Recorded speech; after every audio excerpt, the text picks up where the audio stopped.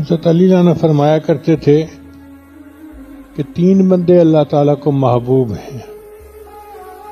एक फुकरा, दूसरे मरीज़ और तीसरा तौबा करने वाला।